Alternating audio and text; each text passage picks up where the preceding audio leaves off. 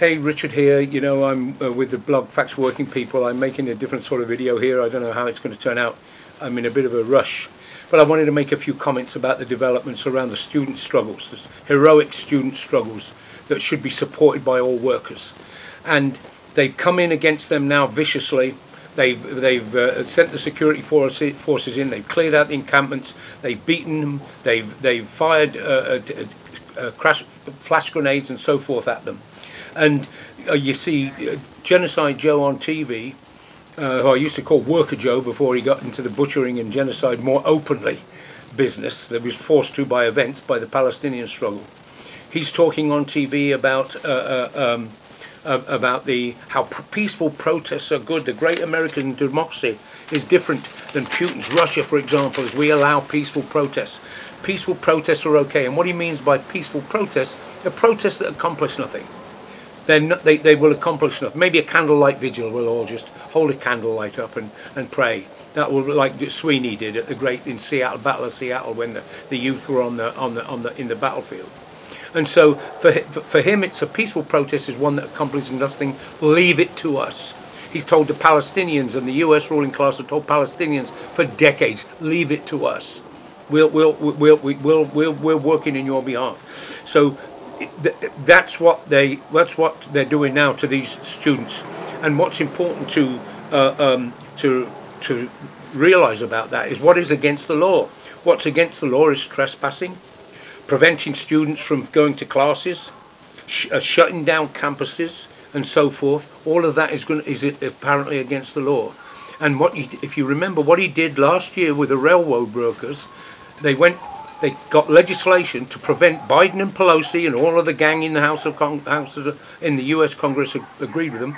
They, they, they introduced legislation to shut down the rail strike, a potential rail strike that was a legal strike, because he says, well, it would. What did he say? He said, uh, uh, uh, you know, they they imposed a settlement by that legislation on the workers, that, one they'd already rejected. A strike would hurt millions of workers and their families, he says. Workers and our families have benefited from strikes. Over, historically, historically, it's not the people on strike that, that benefit, it's the generations that follow. I had a good job because people went on strike, because they walked off the job. When the people at my workplace walked off the job for a union, it was illegal. Just read some labour history and see how brutal the US ruling classes in this country. They shot workers for trying to organise unions. They deported workers for doing that. Um, and the other thing is the other big danger, this conflating of Zionism and Judaism. Uh, um, one uh, uh, Democratic senator, Democratic politician from New York, he's, I think he might have something to do with that new anti-Semitism act you know, condemns violence that have been on the campuses. Biden spoke of it, all the violence on the campuses. Well, the funny, funny thing is, there hasn't been violence on the campuses. campuses. They're very, very peaceful. We saw some violence the other night from right-wing Zionists uh, smashing up stuff. These people are thugs. They're fascists. Zionism is not a, uh, uh, an inclusive political system. It's a violent, a racist system. And so he's condemning that. And, and the, they, they, they were saying, um, well, there were signs on there, Zionists not welcome. What's wrong with that? We wouldn't say Nazi, we'd say Nazis not welcome, wouldn't we? We'd say fascists not welcome. So they equate that with meaning Jews. So, so that, that's a trick. It's a trick.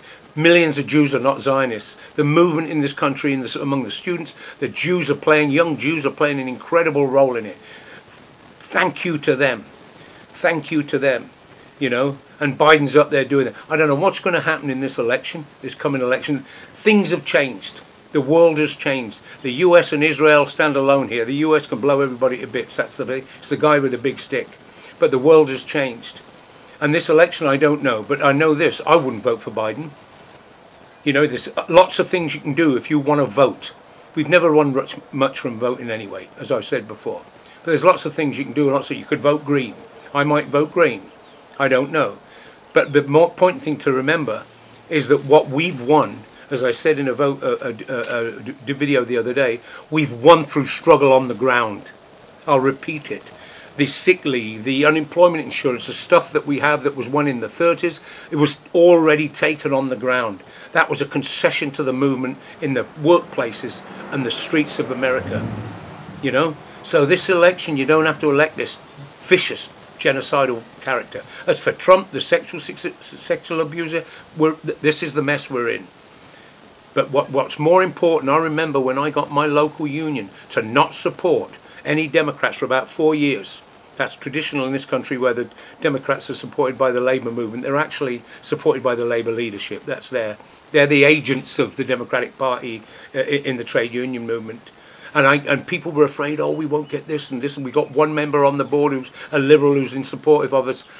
Didn't hurt us. The more we were organised, the more conscious we were of what we wanted. And at the time, we wanted our own party, the Labour Party we campaigned for. The, the, we'll get just as much. Don't get into that trap of, oh, we've got to vote for Biden. We've got to vote for him. Trump could, Trump could be worse or will be worse. Not necessarily. It depends how the class responds to this. Okay? I hope some of that makes sense. I just felt I had to say it. I don't have time to write. Uh, it's Richard Mellor, you know, and the blog is Facts for Working People. All right, thanks.